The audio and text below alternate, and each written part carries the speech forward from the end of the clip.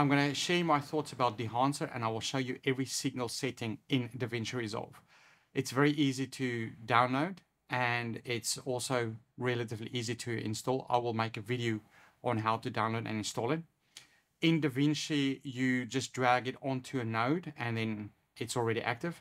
Inside the plugin, it has a bunch of different settings you can enable or disable. So what you can do is, for instance, if you just want to use Bloom, uh, you can disable everything and just uh, activate Bloom. If you just want to do something like film stock, you can deactivate everything else. You can use the film stock. You have different types of film stock, eight millimeter and so on. So there's there's a lot of things uh, you know in the plugin, and I'm definitely going to be using it in weddings, events, those kind of things, and see you know how I can spice up my my videos. Please use my link in the description to download Dehancer, and if you do decide to buy it, you will receive some discount. This is not going to be a tutorial on how to set up everything. Uh, I will create another video for that. This is the recommended tree uh, according to their documentation, and I've set up the Dehancer at the end. So I did are reset there. I'm selecting my camera.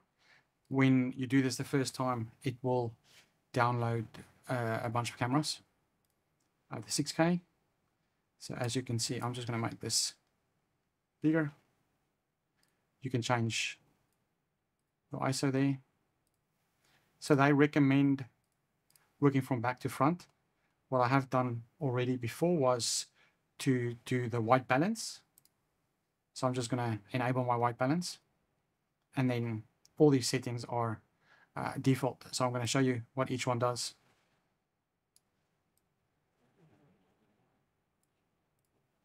So of course this tint, you can probably do the same tint down there. Not sure what that does. Let's see.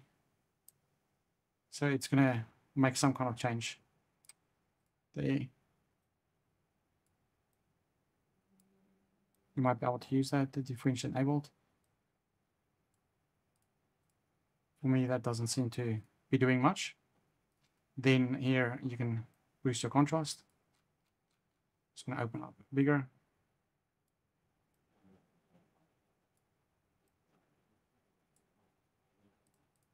You should probably enable it first. So you can see also down there what it does. I'll just reset everything. And here you can change your uh, the type of film. So you can also disable that completely. So you can see enabled, disable. I'm going to show you quickly the different. I'm probably not going to go through all of them.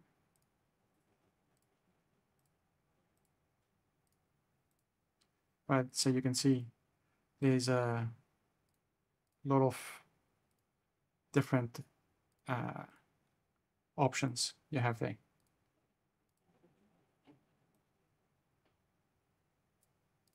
Lots of capability. Let's enable this guy. So you can see there in the back that pops those lights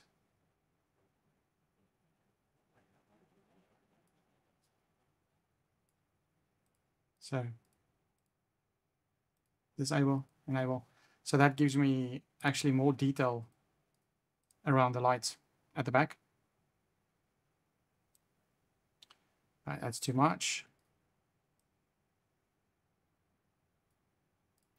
Uh, just again to this tree, they recommend doing noise reduction at the very beginning.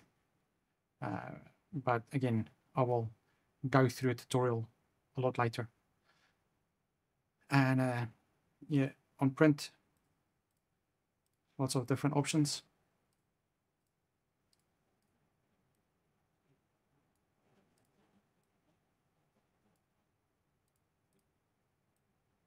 Color density.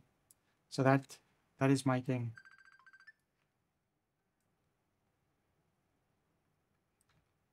the red, all the reds are getting a lot stronger. So I might even do that. And you can change the saturation, color head. Let's make sure that's enabled.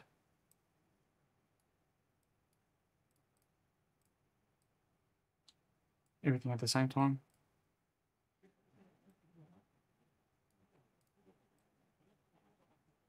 Changing color there.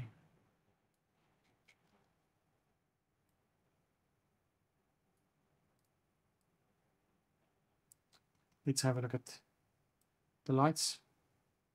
So it's not changing the lights. Film grain, it is enabled. So you can change your, your film grain. So the higher it goes, less grainy.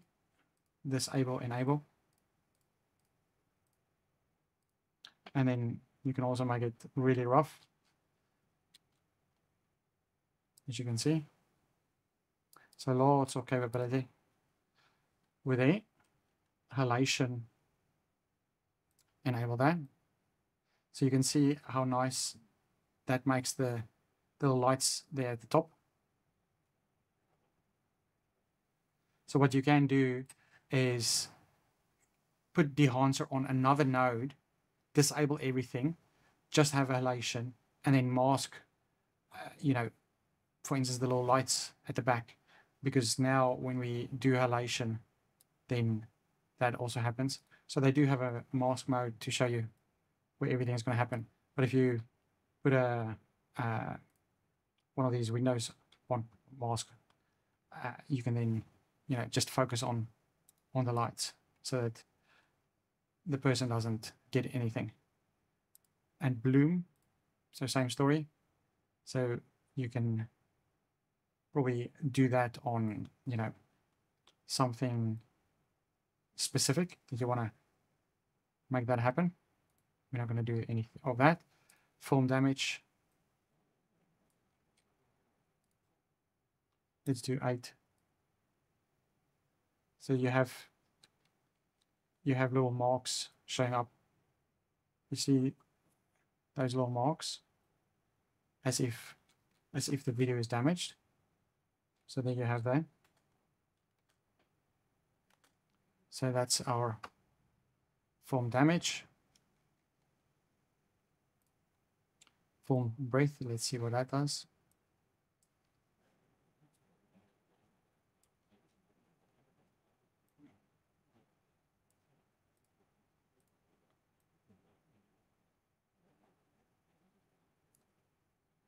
Gate weave.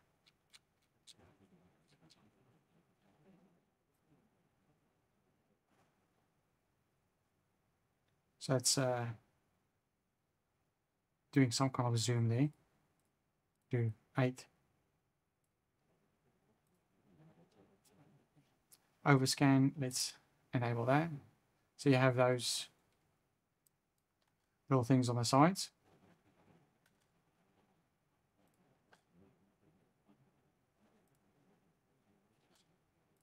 We'll disable that. This one you can change. Let's enable that. So then your couple is the main focus.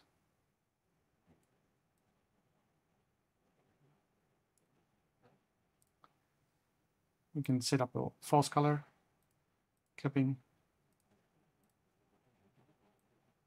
So this is going to determine how much of the plugin is being used or not.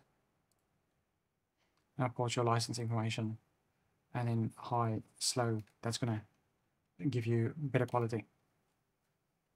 So that's all the settings of this plugin.